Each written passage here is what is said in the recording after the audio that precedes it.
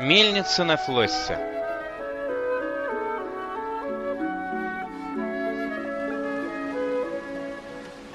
По роману Джордж Эллиот. Сценарий Джеймса Эндрю Холла. Шестая серия.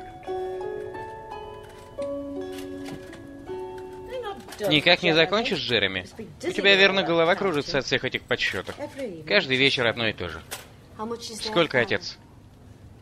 123 фунта и еще несколько пенсов. Ничего не изменилось за тот час, что он их пересчитывает. 123 фунта, Бесси. Это к нам никогда не выбраться. Сколько нам еще нужно выплатить? Больше трех сотен. Я должна найти другое место. О, дорогая, будь осторожна. Нынче не просто найти работу. Но в школе мне платят так мало. Я должна работать денно и ночно, как Том. То, что я приношу за неделю, гроши. Я поговорю с Люси. Может, она знает кого-нибудь из Сент-Окса, кому нужна гувернантка или компаньонка.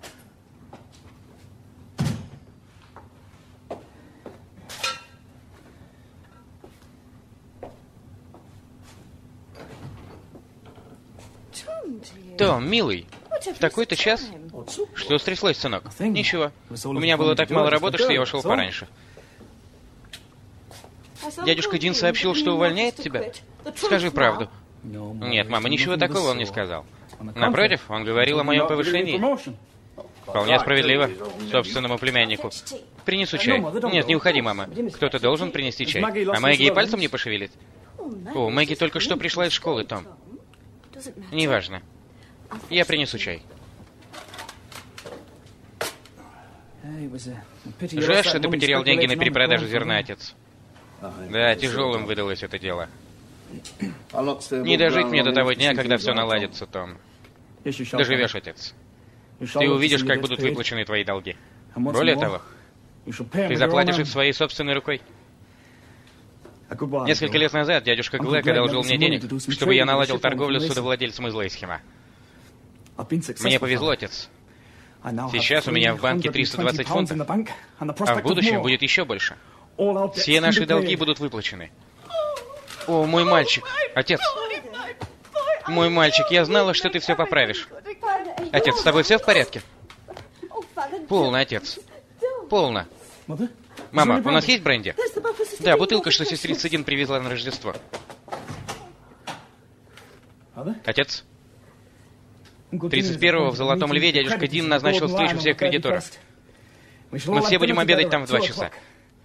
Там будет дядя Глэк и остальные. Мне бы хотелось, чтобы ты принес деньги, Том, чтобы глянуть на них, увидеть их в своих руках. И ты сделаешь это. В Золотом Льве. Благослови тебя Господь, Том.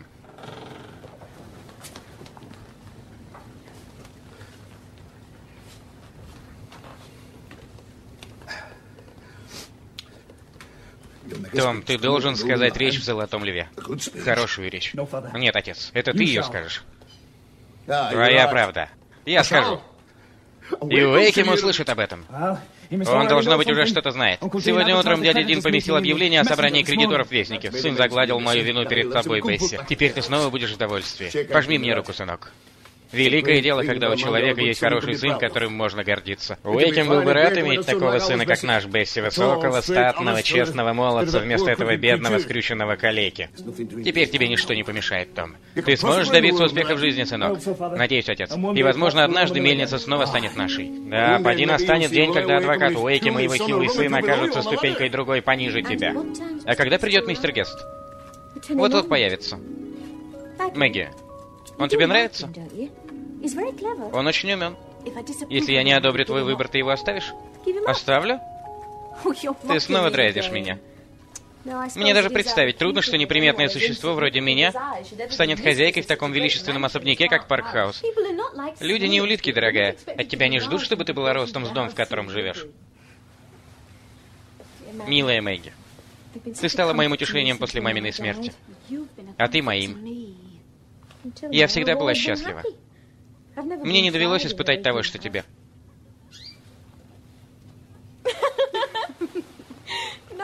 Так вот, мы не будем больше грустить. Я обрушу на тебя море развлечений, пока ты будешь здесь. А это платье Встань-ка. Да, мисс.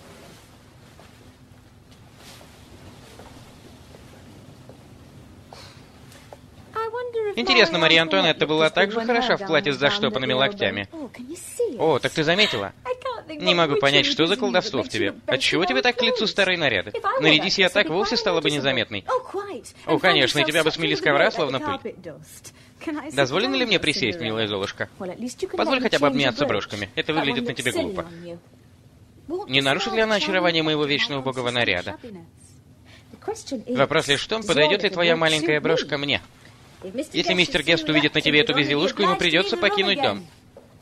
Иначе с ним приключится истерика. Лучше я приколю что-то другое, Мэгги. Я ненадолго.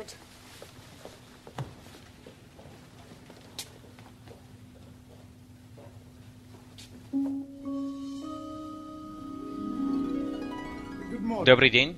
Добрый день. Я не знал, мисс Тальвер, что сегодня мы будем наслаждаться вашим обществом. О, я знаю, вы не любите комплиментов, но... Прошу, позвольте мне хотя бы одну крошечную учтивость наслаждаться вашим обществом. К чему тратить впустую красноречие и самообладание, мистер Гест? Вижу, вы уже обнаружили, что я самоуверен. Люди поверхностные этого не замечают. Из-за ваших хороших манер, полагаю.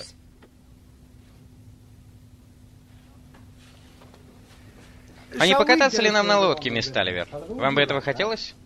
Думаю, Люси решает, чем нам заняться. Конечно. Я вовсе не имел в виду, что мы поедем кататься вдвоем.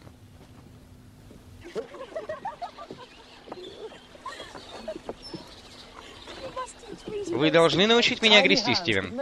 Крошечным ручкам ни за что не удержать этих весел, Люси. Никаких отговорок. Я не успокоюсь, пока не прокачу Мэгги вас до Дорлкоутской мельницы и обратно. О, Люси, даже Тому это оказалось не под силу. Мэгги умеет грести, Стивен. Да, Том давным-давно научил меня. Река сродни вашему характеру, мисс Таливер. О чем это вы? О, это одно из загадочных свойств мисс Таливер, полагаю. Непостоянство, как у воды. Тогда вам стоит уподобить реку человеческой натуре вообще, мистер Гест. Все мы непостоянны. Разумеется, Флосс также полон необузданной страсти, как и любой человек.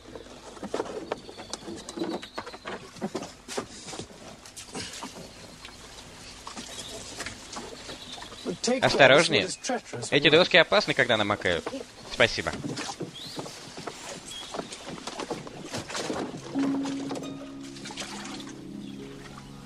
Благодарю.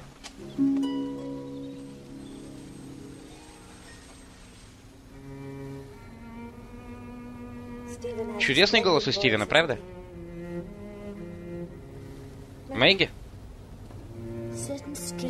Некоторые мелодии так сильно влияют на меня. Когда я слышу их, у меня на какое-то время меняется состояние духа. Хочется, чтобы в моей жизни всегда было вдоволь музыки. Сегодня вечером ты вполне насладилась ею. О, да. Скажи по правде, что ты думаешь о Стивене, хорошее и плохое? Думаю, ему бы пристало больше робеть. Робеть? По-моему, тебе стоит быть более небрежной с ним. Влюбленный не должен быть самонадеянным. По-твоему, он самодовольный? Да? Ведь ты не испытываешь к нему неприязни. Могу ли я испытывать неприязнь к тому, кто намерен сделать тебя счастливой?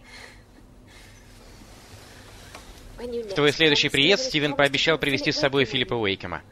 У него дивный голос. Но, Люси, я не могу с ним видеться. Отчего же?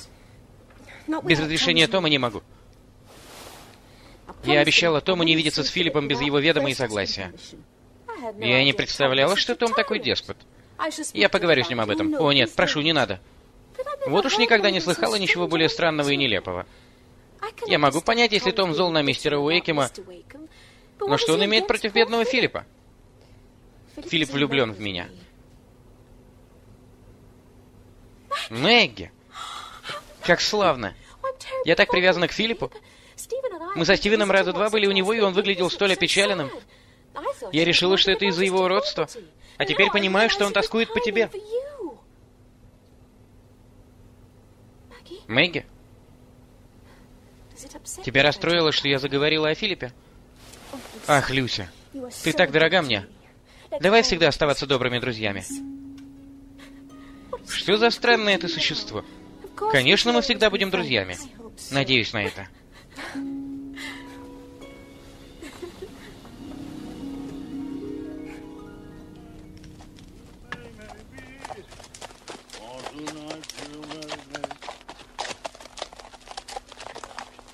Пошла!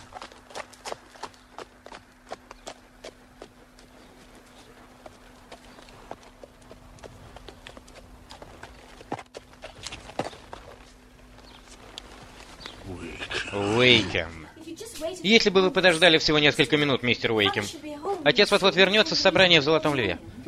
Не имеет значения, увижусь с ним завтра. Полагаю, ваши чувства ко мне весьма противоречивы, мисс Сталивер. По правде говоря, да. Учитывая обстоятельства, было очень любезно с вашей стороны пригласить меня войти. Не попрощайтесь ли от моего имени с вашей матушкой? Разумеется. Отец, мистер Уэйкем, оставь нас. Но, мистер Уэйкем, оставь нас!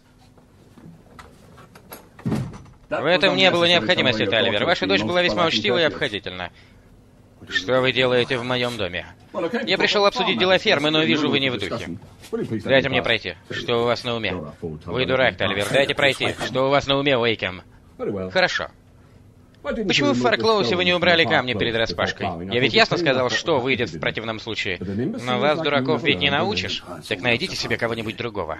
Вы верно пьяны? Мне не нужна вина, я и так могу решить. Я не буду больше работать на такого негодяя, как вы, Уэйкем. Получайте кого-нибудь другого, как вести хозяйство. Прекрасно, будь по-вашему. В понедельник убирайтесь отсюда. Уйду, когда пожелаю. Невежественная скотина, попридержите свой язык и дайте пройти. Не раньше, чем я скажу вам, что о вас думаю. Вы слишком хитры, чтобы вас повесить, Уэйкем, хоть вы этого и заслуживаете.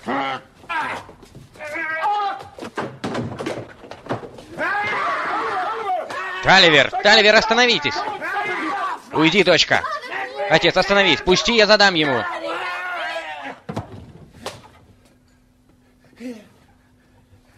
Прости, дочка. Не надо было тебе вмешиваться. Ты ушиблась? Вы ответите за это, сэр. Ваша дочь свидетель. Вы на меня напали. Скажите всем, что я отстегал вас Уэйкем. Покажите им отметины. Вы сумасшедший. Отец!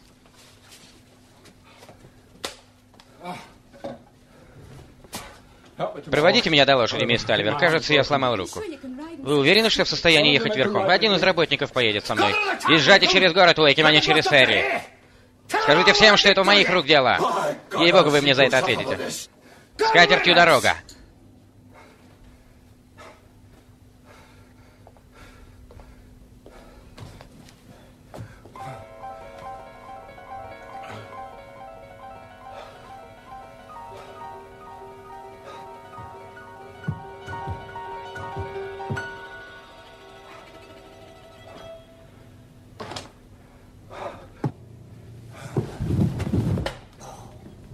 Отец! Отец, с тобой все в порядке?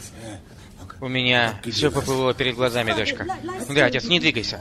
Ох, у меня так разболелась голова, Мэйки. Ах, отец, надо бежать за доктором. Нет. Нет, не оставляй меня, дочка. Мне недолго осталось. Что стряслось? Я встретил адвоката Уэйкема? О, Том, слава богу. Отец, отец, это Том. Что стряслось? Это сделал Уэйкем? Нет, отец набросился на мистера Уэйкема и ужасно избил его. Я пыталась остановить его. Это мой мальчик? Да, отец, это Том. Пожми мне руку, Том, прежде чем я покину вас. Я еду за доктором, отец. Но прежде я должен уложить тебя в постель. Нет, я больше не встану, Том. Это конец. Том? Да, отец, ты должен позаботиться о матери и Мэгги. Будь добрым с ними. Пускай могила будет кирпичной, чтобы мы с матерью могли лежать рядом. Не убивайся, дочка. Поцелуй меня.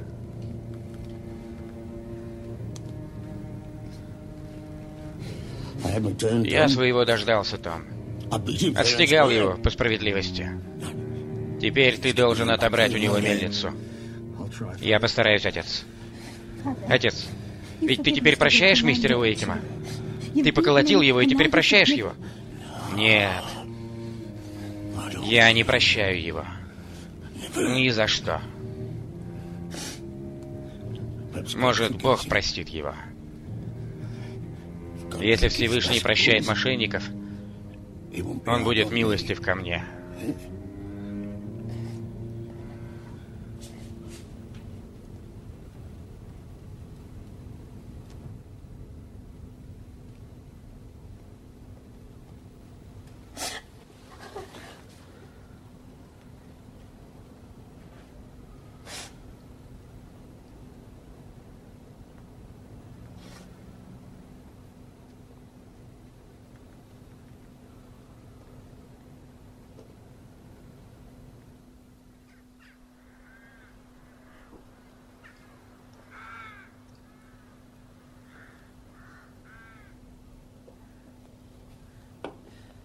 Двое похорон в семье. Мне этого не вынести. Сперва бедняжка Сьюзен, а теперь сосед Таливер. Не стоит, Бесси. Ежели Софи проронит столько слез, сколько пьет вина, нам понадобятся лодки. Джейн как можно быть такой бесчувственной? А как можно быть столь лицемерной? Ничто тебя не радует так, как похороны. Интересно, что задержало соседа Дина? Коляска задержалась у церкви, дядя. Они вот-вот прибудут. Как только все соберутся, надо будет поговорить о будущем Бесси. Что станется с ними? О, мы останемся жить здесь, разумеется. Том поможет Люку с мельницей. Где твоя голова, Бесси? Том ничего не понимает в мельницах. И не забывай, мистеру Уэйкему решать, кто будет управлять мельницей. Полегче, Джейн, полегче. Но ведь он позволит нам остаться здесь. Это наш дом. Дело в том, моя дорогая, что Уэйкем уже подыскивает нового управляющего. И если это будет женатый человек с семьей, что вероятнее всего, ему понадобится жилье. Вы же не думаете... О, нет. О, мистер Уэйкем не отдал бы ему наш дом. А куда же нам деваться? Бесси, дорогая, это его дом.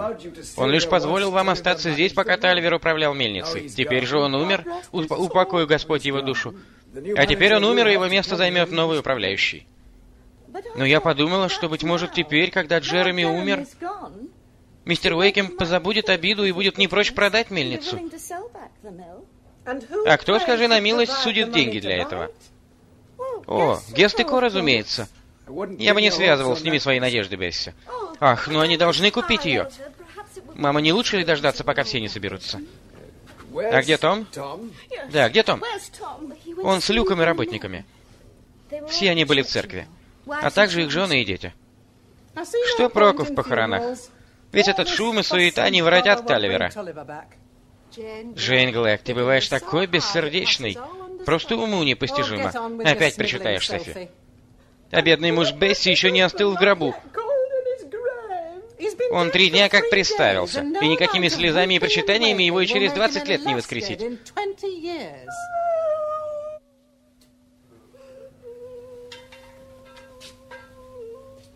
Люси, милая, обожди минутку. А если я попрошу тетушку Таливер пожить у нас? Думаю, она сможет хорошо вести наш дом. Гораздо лучше, чем чужой человек. А у тебя больше времени останется на молодого Стивена. По-моему, это отличная мысль, папа. Тетушке Бесси будет здесь безумно одиноко. И Мэгги может с ней приехать, если захочет, будет тебе компания. Но кто-то должен позаботиться о бедном Томе. Том вполне способен сам о себе позаботиться.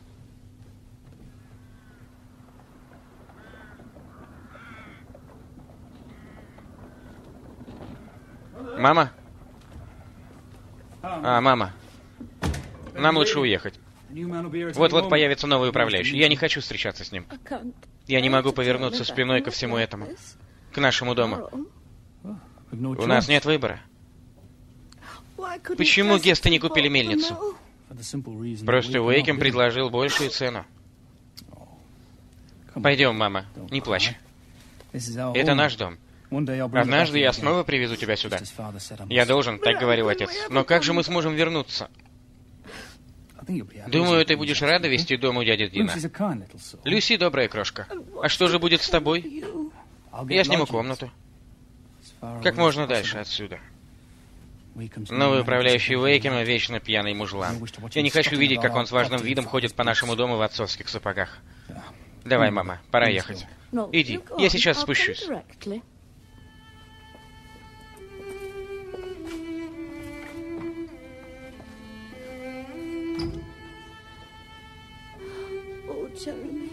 Ох, Джереми, что с нами будет?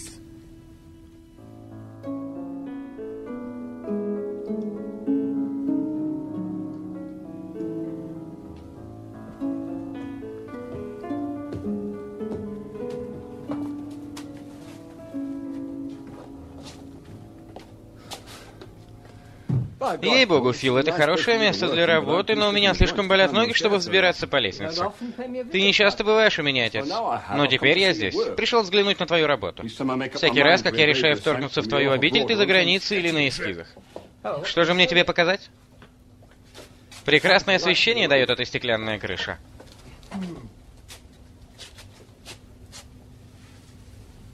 Они превосходны, Фил. Право, превосходны. Да у тебя их хватит на целую выставку? Полагаю, да. Возьмем эту. Ничуть не хуже, чем у любого лондонского художника.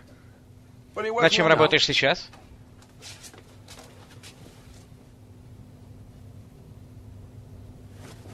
Я думал, ты уже не пишешь портретов. Все это портреты мисс Тальвер в разном возрасте. С той поры, как я встретился с ней в Кинг-Лортоне. Ты виделся с ней после возвращения из-за границы? Да, я часто виделся с ней до смерти ее отца. На Дорлколской мельнице? Поблизости в лесу. Я люблю ее отец, и никогда не полюблю другую. Она знает об этом? Да, она знает о моей любви. Но любит ли она меня? И согласится ли стать моей женой, я не знаю. А если согласится, я женился бы на ней. Понятно. И это расплата за мою снисходительность, за все, что я для тебя сделал? Ты, конечно, снисходителен, отец, и я благодарен тебе за это. Но неужели, чтобы вернуть долг, я должен пожертвовать своим шансом на счастье? Думаю, в этом случае большинство сыновей разделяло бы чувство отца. Таливер был грубым, тупым животным, он едва не убил меня. Весь город это знает. Он умер, отец. Скоро месяц, как его похоронили. Ты в могилу собираешься унести эту бессмысленную злобу? Господи, разве можно любить мужелана, отхлеставшего тебя кнутом? Конечно, нет. Но разве нужно переносить вражду на Мэгги, на мисс Таливер? Она не причастна к семейной истории. И что с того? Кого интересует, что думает женщина? Важно, из какой она семьи. А как же ее наглый братец? Что он думает о ваших отношениях? Он запретил ей видеться со мной, даже писать мне. Он запретил тебе? Это просто унизительно, Филипп. Я не хочу тебя видеть мужем дочери старика Таливера. Не бойся этого, отец. В подобных обстоятельствах у нас едва ли появится привязанность. Я не знаю лучшей мишени для пули, чем этот высокомерный дьявол Том Таливер. Он запретил тебя. Боже милостивый.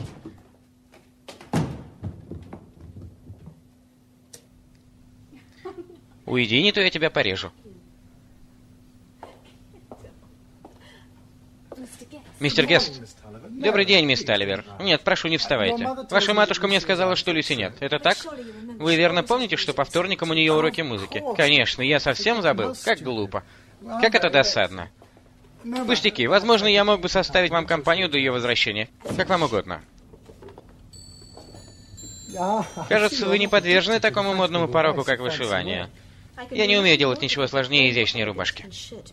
Ваше простое шитье столь изысканно, под стать вышивке. Благодарю. Люси говорит, я не из тех людей, которыми вы восхищаетесь. Сказала, что вы находите меня самоуверенным. С моей стороны, это было бы крайне невежливо, верно? Еще она сказала, что ваше искусное шитье — настоящая загадка для нее, ведь когда-то вы совершенно не выносили рукоделия. Разгадать эту загадку нетрудно. Только шитьем рубашек я и могла немного подработать. О, мне по душе этот вызов, мисс Таливер. Это гордость бедняка, который не стыдится своей нужды. Прошу, не уходите. Вы не похожи на всех прочих женщин, которых я когда-либо встречал. Прошу прощения, мистер Гест. Мэгги, прошу, отпустите мою руку. Вы знаете, не так ли? По вашим глазам вижу, знаете. Вы это сделали нарочно. Вы пришли сюда, зная, что Люси не будет. Лучше бы мне никогда не встречать вас, Мэгги Таливер. Я даже не понимаю, нравитесь ли вы мне.